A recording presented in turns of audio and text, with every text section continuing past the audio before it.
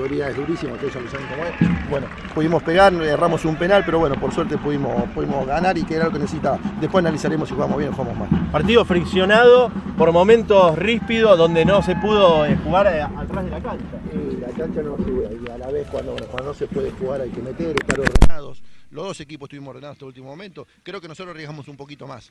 Pero, pero bueno, pudimos golpear en, un- en una pelota ahí que, que cayó al área. Pero bueno, por suerte llevamos tres puntos. El penal los potenció, ¿no? Porque a pesar de no haberlo convertido, eh, fue una circunstancia en la cual eh, se levantaron en lo anímico. Eh, sí, sí, viste, esta circunstancia de decir errar un penal, viste, nosotros veníamos de una seguilla a errar penales también, este, otra vez lo- ese fantasma del penal, pero bueno, por suerte Potarki pudo convertir de cabeza. ¿Y ahora qué viene? Ahora viene Muñiz el día viernes a recuperar a los jugadores, la recuperación nuestra, saben que a esta categoría es muy difícil porque por el trabajo, por el estudio es muy difícil, así que hoy por hoy creo que los chicos se merecen un descanso y después pensar en la semana. Muchas gracias, Aguirre. La palabra del entrenador, que bueno, él tuvo la palabra el jueves también. Gracias a ustedes y bueno, llámenme siempre muchachos.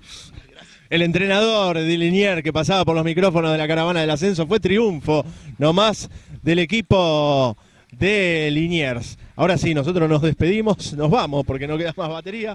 Señores y señores, estamos... Ah, perdón.